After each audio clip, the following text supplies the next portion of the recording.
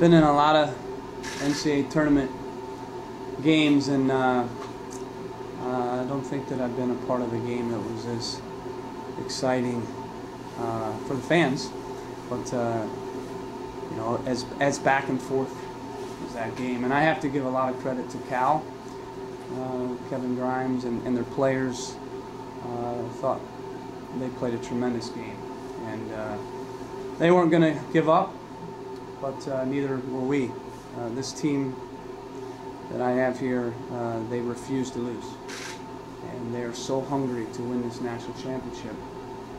Uh, and no matter what happens, uh, they're going to find a way to win, and they did that today. You know, certainly there were some things that happened in the game, goals given up that uh, aren't characteristic. They weren't goals that we probably thought would happen, but they did. But a team that has belief like we have uh, will recover from those things, and, and we did. And, uh, you know, in the end, our goalkeeper, David Meves, won the game for us in penalty kicks. Uh, and he made up for some plays in, in the regulation.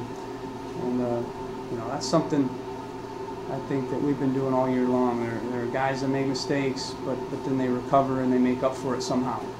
And our goalkeeper today, I thought, was a great example of that. You know, to get back to the College Cup two consecutive years in a row is a great credit to, to these guys and how hard they worked. We're excited. Looking forward to taking it one at a time. We got our last tournament here Friday, Sunday, and we've done well in the Friday, Sundays uh, this year. Um, in fact, we've won all the Friday, Sunday tournaments we've played. And so this is the final one that hopefully we can uh, take care of business and bring home the first ever national championship to Akron. We've been training PKs all year.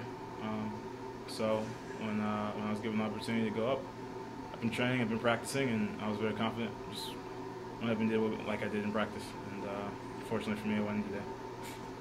I mean, for me, it's just excitement. I mean, we're back. Last year ended uh, tough for us, and now we're back with a chance to redeem ourselves, I think.